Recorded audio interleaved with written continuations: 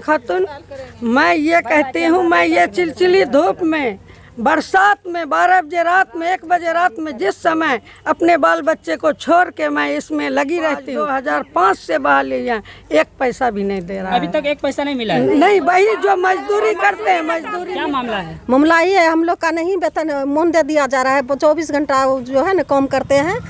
वर्षा बुनी सब बाल बच्चा छोड़ के भूखे पेट यहाँ चौबीस घंटा कोई व्यवस्था नहीं है एगो कुर्सी एगो एक कुर्सी भी नहीं आशा को तो साठ दिन में पूरे हॉस्पिटल को स्वास्थ्य को ठीक करने का वादा किए थे।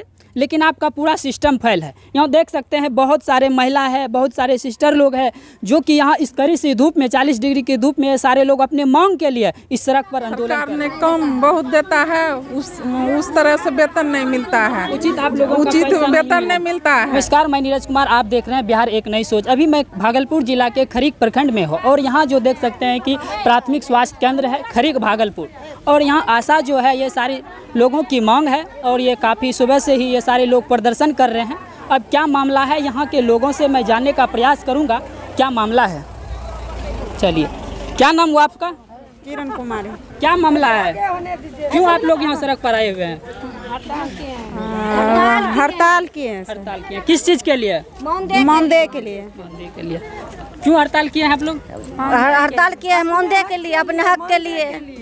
ये जो बंद करके रखे हैं आदमी सब तो परेशान होता होगा। इसके लिए? इसके लिए हम हम लोग इतना दिन से खट रहे हैं। कुछ नहीं हम लोग भी परेशान हो रहे हैं। सरकार हम लोग को कोई भत्ता नहीं दे रहा है। हम लोग को चाहिए। भूखे नहीं ना हम खटेंगे। कितना मिलता है आप लोगों हम लोग को कुछ नहीं मिलता है। पोषक आहार पे काम करते हैं मजदूर के रूप में काम करते हैं। जितना काम करते हैं उतना उतना पैसा मिलता है। कितना घंटा ड्यूटी करते हैं? हम लोग का एनी टाइम में रहता है। कब भी सब ड्यूटी आ जाएगा कब फ़ोन घुस जाएगा कब फ़ोन घुसता है रात में दिन में चौबीसों घंटा। जब फ़ोन घुसता है तब हम लोग पहुँचते हैं। तो हम लोग अपना हक के लिए तो लड़बे करेंगे। तो क्या मांग है आप लोगों हम लोग का सरकार से? मानदेय मांग रहे हैं। तो मतलब सरकार जो है कि जो ये उचित जो मेहनत कर रहे हैं उनके हिसाब से इनको पैसा नहीं मिल रहा है। वही बात है और लोगों से भी बात करने का प्रयास करूँ क्या नाम हुआ आपका? हेमलता कुमारी। आप लोग क्यों आज हॉस्पिटल को बंद रखे हैं? मानदेय के लिए। के लिए। मांग के लिए। क्या मांग है आप लोगों का?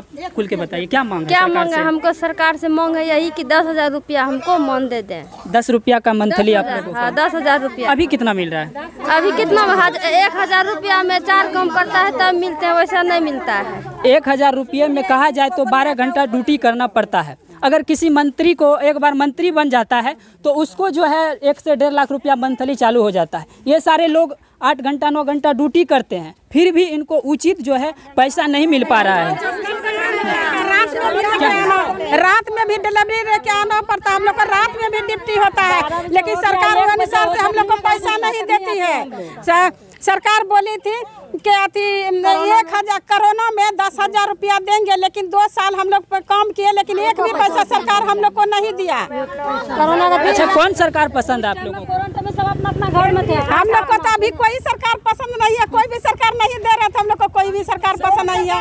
जो सरकार की जॉब की कोई हमको भत्ता नहीं दे रहा है दो हज़ार पच्चीस कम कर रहे हैं कोई भत्ता नहीं हम लोग को मिल रहा है। तुम कौन सरकार को बोले कि कौन मेरा सरकार है? नया मजदूरी कोई मजदूरियों नहीं दे रहा है हम किस लिए? जिसने करते हैं उतना मिलता है। अंदर में जो डॉक्टर साहब बैठे हैं उनका अस्सी हज़ार रुपया वेतन होगा। लेकिन सही से इलाज नहीं करते हैं। आज मैं यहाँ बाहर में हॉस्पिटल के बाहर में होकर बता रहा हूँ।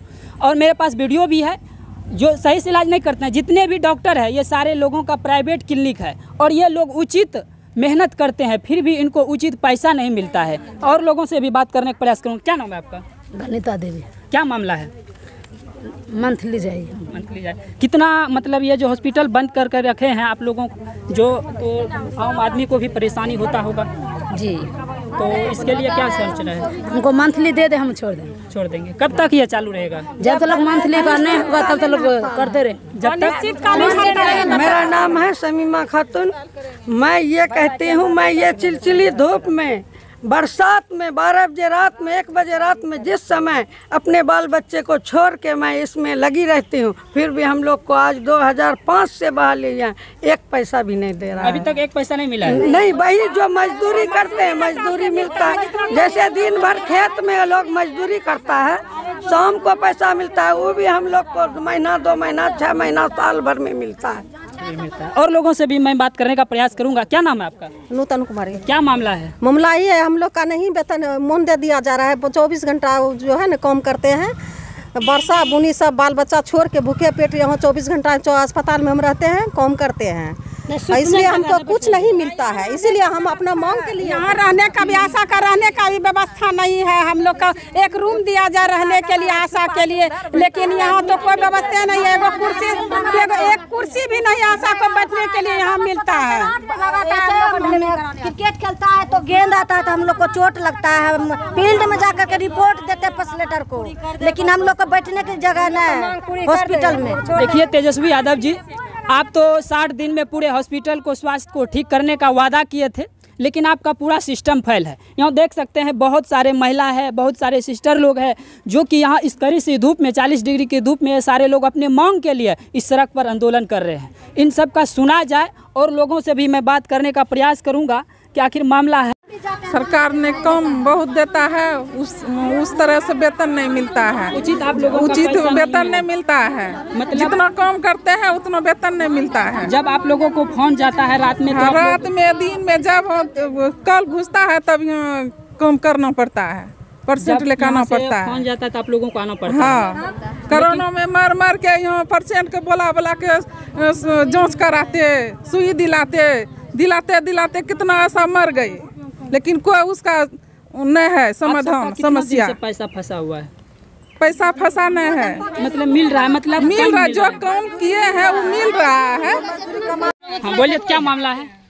जैसे महिला जो गाँव की है वो किसी के खेत में मजदूरी करने के लिए जाती है तो दो सौ रुपया का भत्ता है। हम लोग धूप करी के धूप में पेशेंट बच्चे को बोलना जाता एक एक बच्चा पर दस रुपया हमको दिया जाता है। और पचास रुपया हम काम करते हैं। तो हम लोग क्या, कैसे काम करेंगे? हम लोग को चाहिए भत्ता? आप लोगों को कितना मांग कर रहे हैं आप लोग? हम लोग कम से कम दस हज़ार दस हज़ार मांग कर रहे हैं। अभी कितना मिल रहा है? अभी कुछ नहीं कोई भत्ता नहीं वही तो बोले क- क- कड़ी की धूप में और वर्षा पानी में जाते हैं बोलो ना। एक बच्चा मात्र दस रुपया दिया जा रहा है और एक सौ रुपया जो पचास रुपया कोई भी कम विटामिन की पीला है तो एक सौ रुपया कोई कम किए तो पचास रुपया पच्चीस रुपया दस रुपया इसी तरह मिलता है। हम लोग दीदी का भी काम रहता है। तो नहीं आशा चलिए लेकिन आशा को कुछ नहीं मिल रहा। है फालतू हम लोग हैं। महँगाई बढ़ गई कब तक ये आंदोलन चालू रहेगा आप लोगों का?